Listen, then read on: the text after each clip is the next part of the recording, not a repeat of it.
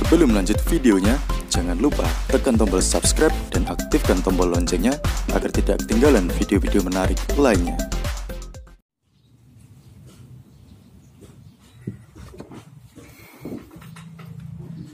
Halo Sobat Kicau, gimana kabarnya? Semoga sehat selalu. Di video kali ini agak sedikit beda karena kalau biasanya kalian hanya mendengar suara dan juga rekaman, kali ini kalian akan melihat siapa orang yang biasa mengisi di channel Republik Kicau Nusantara, yaitulah saya. Tapi kali ini saya tidak akan membahas siapa saya dan bagaimana tentang channel ini. Kali ini saya akan membahas tentang ini, seperti yang kalian baca di judul, dan langsung saja kita lakukan ke prakteknya. Cekidot. Oke teman-teman, kali ini saya akan memberikan tips tentang perawatan dan juga tentang menu makanan untuk kacer loloan dan seperti apa pakan dan juga cara perawatannya. Yang paling pertama kita siapkan dulu pakannya. Untuk pakannya sendiri di sini saya menggunakan fur ayam.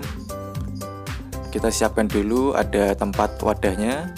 Kemudian kita siapkan fur ayam ini saya menggunakan 4BR1 tapi terserah teman-teman pakai yang apa. Yang penting untuk ayam untuk ayam yang masih anakan ya seperti ini. Bisa 511 ataupun 521 kemudian kita siapkan air. Oke selanjutnya langsung saja kita campur agar menjadi satu adonan. Kita masukkan dulu for ayamnya. Untuk takarannya disesuaikan saja kalau saya biasanya cukup untuk satu hari. Kemudian kita tambahkan air.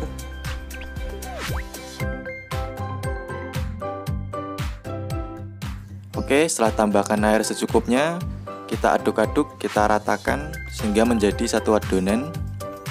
Untuk takaran air sendiri tidak usah terlalu encer. Pokoknya yang sedang saja, bukan lagu teman-teman ya, tapi yang cukup sedang saja. Yang penting nanti saat dilolokkan burung tidak merasa seret dan tidak susah untuk menelannya. Oke, kita aduk-aduk dulu.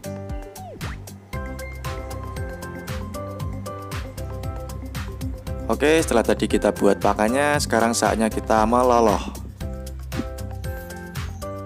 Nah, kacer saya saya biasakan untuk meloloh di luar sangkar karena saya ingin menjadikan kacer ini sebagai kacer cetrekan atau untuk istilah Jawanya petetan. Jadi ketika kita kasih tangan biasanya dia akan bunyi atau dibuat jinak-jinakan lah. Ya, seperti ini kita lolos saja sampai dia kenyang.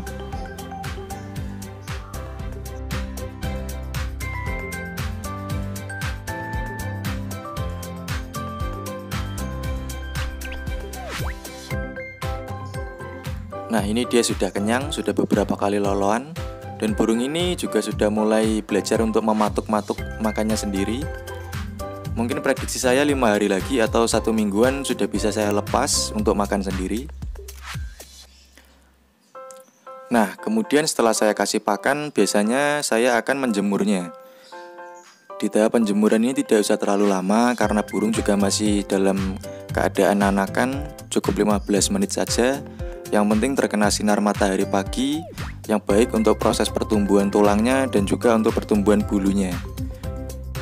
Pada saat dijemur biasanya burung akan mandi sendiri dicepuk air minumnya, kemudian dia akan membersihkan lilin dari bulu-bulu barunya.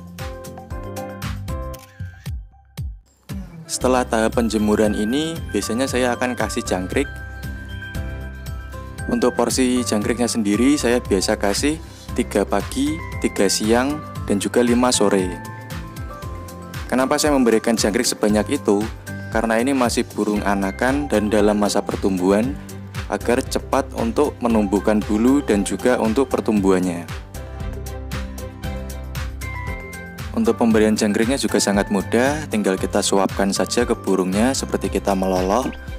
Kemudian jangan lupa untuk membuang semua kaki-kaki yang ada pada jangkrik agar tidak tersangkut di tenggorokannya karena organ dalamnya juga masih sangat uh, lunak jadi kasihan nanti kalau sampai dia harus tergores karena kaki-kaki jangkrik.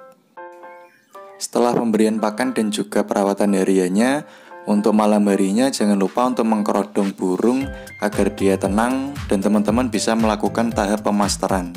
Karena pada saat inilah burung masih muda, kita bisa memberikan masteran atau masukan suara yang diinginkan oleh teman-teman.